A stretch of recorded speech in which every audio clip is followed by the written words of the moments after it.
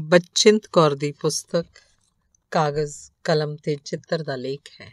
ਸ਼ਾਹਕਾਰ ਰਚਨਾਵਾਂ ਦਾ ਰਚਾਇਤਾ ਗੁਰਦਿਆਲ ਸਿੰਘ। ਅੱਜ ਬਹੁਤ ਵੱਡਾ ਜੇਰਾ ਕਰਕੇ ਮੇਰੀ ਕਲਮ ਨੇ ਪ੍ਰੋਫੈਸਰ ਗੁਰਦਿਆਲ ਸਿੰਘ ਮੜੀ ਦਾ ਦੀਵਾ ਬਾਰੇ ਕੁਝ ਕੁ ਸਤਰਾਂ ਲਿਖਣ ਦੀ ਕੋਸ਼ਿਸ਼ ਕੀਤੀ ਹੈ। ਉਹਨਾਂ ਦੀ ਸਮੁੱਚੀ ਸ਼ਖਸੀਅਤ ਤੇ ਸਮੁੱਚੀ ਸਾਹਿਤ ਸੇਵਾ ਬਾਰੇ ਕੁਝ ਵੀ ਲਿਖਣ ਤੇ ਕਹਿਣ ਦੀ ਸਮਰੱਥਾ ਮੇਰੀ ਕਲਮ 'ਚ ਨਹੀਂ, ਪਰ ਇੱਕ ਮਨ 'ਚ ਚਾਹ ਜ਼ਰੂਰ ਹੈ ਕਿ ਮੈਂ ਆਪਣੇ ਸਮੇਂ ਦੇ ਇੱਕ ਮਹਾਨ ਲੇਖਕ ਬਾਰੇ ਕੁਝ ਨਾ ਕੁਝ ਜ਼ਰੂਰ ਲਿਖਾਂ। ਮੇਰੀ ਉਹਨਾਂ ਦੀ ਜਾਣ ਪਛਾਣ ਦਿੱਲੀ ਪੰਜਾਬੀ ਅਕੈਡਮੀ ਦੇ ਕਿਸੇ ਸਾਹਿਤ ਸਮਾਗਮ 'ਚ ਅੱਜ ਤੋਂ ਕੋਈ 30-35 ਵਰੇ ਪਹਿਲਾਂ ਹੋਈ ਸੀ। ਮਾਮੂਲੀ ਜੀ ਜਾਣ ਪਛਾਣ। ਫਿਰ ਪਤਾ ਨਹੀਂ ਕਿਵੇਂ ਅਸੀਂ ਬਠਿੰਡੇ ਇੱਕ ਸਾਹਿਤ ਸੰਮੇਲਨ 'ਚ ਇਕੱਠੇ ਹੀ ਸਟੇਜ ਤੇ ਬਿਰਾਜਮਾਨ ਹੋ ਗਏ। ਨਾਲ ਪੰਜਾਬੀ ਦਾ ਪ੍ਰਸਿੱਧ ਕਹਾਣੀਕਾਰ ਗੁਰਬਚਨ ਭੁੱਲਰ ਵੀ ਸੀ। ਗੁਰਦਿਆਲ ਸਿੰਘ ਜੀ ਇਸ ਸਾਹਿਤਿਕ ਪ੍ਰੋਗਰਾਮ ਦੇ ਮੁੱਖ ਮਹਿਮਾਨ ਸਨ। ਇਹ ਸਾਹਿਤਿਕ ਗੋਸ਼ਟੀ ਮੇਰੀ ਪੁਸਤਕ ਪਗਡੰਡੀਆਂ ਬਾਰੇ ਹੀ ਬਠਿੰਡੇ 'ਚ ਰੱਖੀ ਗਈ ਸੀ। ਥੋੜੀ ਨੇੜਤਾ ਵਧੀ ਤੇ ਦਿੱਲੀ ਆਉਣ ਪਿੱਛੋਂ ਮੈਂ ਇਹਨਾਂ ਨੂੰ ਚਿੱਠੀ ਲਿਖੀ ਤੇ ਫਿਰ ਖਾਸਾ ਸਮਾਂ ਖਤੋ ਕਿਤਾਬਤ ਲਗਾਤਾਰ ਚੱਲਦੀ ਰਹੀ। ਕਾਰਨ ਇਹ ਸੀ ਕਿ ਮੈਂ ਮੜੀ ਦਾ ਦੀਵਾ ਨਾਵਲ ਪੜਨ ਪਿੱਛੋਂ ਲਗਾਤਾਰ ਇਹਨਾਂ ਦੀਆਂ ਹੋਰ ਵੀ ਕਈ ਕਿਤਾਬਾਂ ਪੜ੍ਹੀਆਂ, ਜਿਨ੍ਹਾਂ ਦਾ ਅਸਰ ਮੇਰੇ ਮਨ ਤੇ ਬਹੁਤ ਗਹਿਰਾ ਹੋਇਆ। ਪਿੱਛੋਂ ਜਦੋਂ ਮੈਂ ਕੁਝ ਵਰਿਆਂ ਲਈ ਅਮਰੀਕਾ ਜਾ ਕੇ ਵਸ ਗਈ, ਉੱਥੇ ਇਹਨਾਂ ਦੀਆਂ ਪੁਸਤਕਾਂ ਮੇਰੇ ਖਾਲੀ ਬੀਤ ਰਹੇ ਵਕਤ ਨੂੰ ਸਹੀ ਸੇਧ ਦੇਣ ਲੱਗੀਆਂ। ਮੈਂ ਅਕਸਰ ਲਾਇਬ੍ਰੇਰੀ ਜਾ ਕੇ ਬੈਠ ਜਾਂਦੀ। ਪਹਿਲਾਂ ਲਾਇਬ੍ਰੇਰੀ 'ਚ ਕੁਝ ਜਾਣੇ ਪਛਾਣੇ ਅੰਗਰੇਜ਼ੀ ਦੇ ਲੇਖਕਾਂ ਦੀਆਂ ਰਚਨਾਵਾਂ ਢੂੰਡ ਕੇ ਪੜ੍ਹਦੀ। ਫਿਰ ਜਦੋਂ ਮਨ ਅੱਕ ਤੇ ਥੱਕ ਜਾਂਦਾ ਤਾਂ ਮੈਂ ਆਪਣੇ ਨਾਲ ਦਿੱਲੀੋਂ ਲਿਆਂਦੇ, ਜਸਵੰਤ ਸਿੰਘ ਕਵਲ ਤੇ ਪ੍ਰੋਫੈਸਰ ਗੁਰਦਿਆਲ ਸਿੰਘ ਦੇ ਨਾਵਲ ਪੜ੍ਹਨ ਲੱਗਦੀ। ਇਉਂ ਇੱਕ ਪਾਠਕ ਦੇ ਨਾਤੇ ਮੈਂ ਇਹਨਾਂ ਦੀਆਂ ਲਿਖਤਾਂ ਤੋਂ ਬਹੁਤ ਪ੍ਰਭਾਵਿਤ ਹੋਈ। ਅੱਧ ਚਾਨਣੀ ਰਾਤ ਸੱਗੀ ਫੁੱਲ, ਇਹ ਦੋ ਰਚਨਾਵਾਂ ਮੈਂ ਲਾਸ ਐਂਜਲਸ ਦੀ ਪੈਨੋਰਮਾ ਸਿਟੀ ਵਾਲੀ ਲਾਇਬ੍ਰੇਰੀ 'ਚ ਬੈਠ ਕੇ ਹੀ ਪੜ੍ਹੀਆਂ ਸਨ। ਇਹ ਕਿਤਾਬਾਂ ਪੜ੍ਹਨ ਪਿੱਛੋਂ ਮੈਂ ਉੱਥੋਂ ਹੀ ਉਹਨਾਂ ਦੀਆਂ ਰਚਨਾਵਾਂ ਬਾਰੇ ਗੁਰਦਿਆਲ ਸਿੰਘ ਜੀ ਨੂੰ ਕਈ ਚਿੱਠੀਆਂ ਲਿਖੀਆਂ। ਮੇਰੀ ਚਿੱਠੀ ਦਾ ਜਵਾਬ ਸਮੇਂ ਸਿਰ ਆਉਂਦਾ ਰਿਹਾ, ਜਿਸ ਕਾਰਨ ਸਾਡੀ ਪਾਠਕ ਤੇ ਲੇਖਕ ਦੀ ਸਾਂਝ ਦਿਨੋਂ ਦਿਨ ਵੱਧਦੀ ਗਈ ਤੇ ਮਾਨਸਿਕ ਤੌਰ ਤੇ ਅਸੀਂ ਇਉਂ ਇੱਕ ਦੂਜੇ ਦੇ ਕਾਫੀ ਨੇੜੇ ਹੋ ਗਏ। ਫਿਰ ਪਤਾ ਨਹੀਂ ਕਈ ਸਾਲਾਂ ਤੱਕ ਸਾਡਾ ਰਾਬਤਾ ਟੁੱਟਿਆ ਰਿਹਾ। ਕਈ ਵਾਰ ਕਾਰਨ ਕੁਝ ਵੀ ਨਹੀਂ ਹੁੰਦਾ, ਪਰ ਬੰਦਾ ਐਵੇਂ ਇਸ ਜੱਗ ਵਾਲੇ ਮੇਲੇ 'ਚ ਕਿਧਰੇ ਗਵਾਚ ਕੇ ਰਹਿ ਜਾਂਦਾ ਹੈ। ਅਚਾਨਕ ਜੈਤੋ ਵਾਲੇ ਜਤਿੰਦਰ ਕੁਮਾਰ ਟਾਈਪਿਸਟ ਨੇ ਮੈਨੂੰ ਮੇਰੀਆਂ ਰਚਨਾਵਾਂ ਹਿੰਦੀ 'ਚ ਅਨੁਵਾਦ ਕਰਨ ਲਈ ਆਪਣੀ ਇੱਛਾ ਪ੍ਰਗਟ ਕੀਤੀ ਤੇ ਨਾਲ ਪ੍ਰੋਫੈਸਰ ਗੁਰਦਿਆਲ ਸਿੰਘ ਦੇ ਕੰਮ ਦਾ ਜ਼ਿਕਰ ਕੀਤਾ ਕਿ ਮੈਂ ਹੁਣੇ-ਹੁਣੇ ਪ੍ਰੋਫੈਸਰ ਗੁਰਦਿਆਲ ਸਿੰਘ ਦੀਆਂ ਪੂਰੀਆਂ 12 ਬਾਲ ਪੁਸਤਕਾਂ ਹਿੰਦੀ 'ਚ ਅਨੁਵਾਦ ਕੀਤੀਆਂ। ਇਉਂ ਮੁੜ ਮੈਨੂੰ ਗੁਰਦਿਆਲ ਸਿੰਘ ਨਾਲ ਜੋੜਨ ਵਾਲਾ ਇਹ ਜਤਿੰਦਰ ਕੁਮਾਰ ਹੀ ਹੈ, ਜੋ ਅੱਜਕੱਲ ਸਾਡੇ ਦੋਹਾਂ ਦੇ ਕੰਮ ਨੂੰ ਹਿੰਦੀ 'ਚ ਅਨੁਵਾਦ ਕਰਕੇ ਸੀਡੀਆਂ ਬਣਾਉਣ 'ਚ ਮਗਨ ਹੈ। ਪ੍ਰੋਫੈਸਰ ਗੁਰਦਿਆਲ ਸਿੰਘ ਨੇ ਪੰਜਾਬੀ ਸਾਹਿਤ ਦੇ ਤਕਰੀਬਨ ਹਰ ਰੂਪ 'ਚ ਆਪਣਾ ਯੋਗਦਾਨ ਪਾਇਆ। ਕਹਾਣੀ, ਲੇਖ ਸਵੈ ਜੀਵਨੀ ਨਾਟਕ, ਨਾਵਲ ਆਦਿ।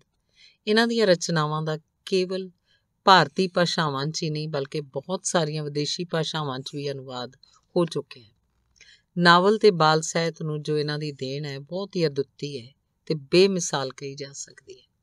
ਹੁਣ ਇਹਨਾਂ ਦੀਆਂ ਰਚਨਾਵਾਂ ਸੰਸਾਰ ਪ੍ਰਸਿੱਧੀ ਤੱਕ ਪਹੁੰਚ ਚੁੱਕੀਆਂ।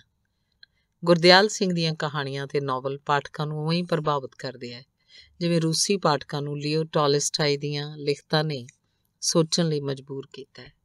ਮੜੀ ਦਾ ਦੀਵਾ ਅਣ ਹੋਈ ਅਧ ਚਾਨਣੀ ਰਾਤ, ਅੰਨੇ ਘੋੜੇ ਦਾ ਦਾਨ, ਪਰਸਾ, ਇਸ ਕਲਮ ਦੇ ਸ਼ਾਹਕਾਰ ਨਾਵਲ ਹਨ।